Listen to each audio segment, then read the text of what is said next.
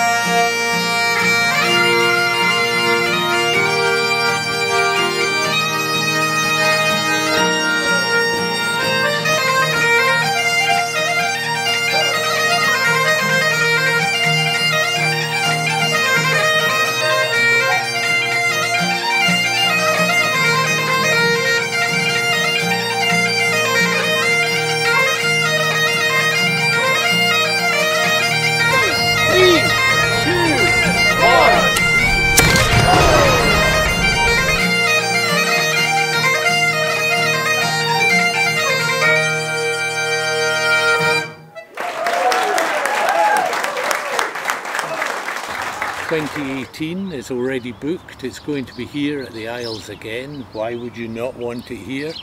Um, and the dates will be up on the website and on Facebook shortly. And you should book, you should come, you'll enjoy it, it's amazing. You meet a, a wonderful bunch of people, some of whom have been every single year. Uh, this was our fifth annual gathering and uh, yeah, you should come, it's brilliant.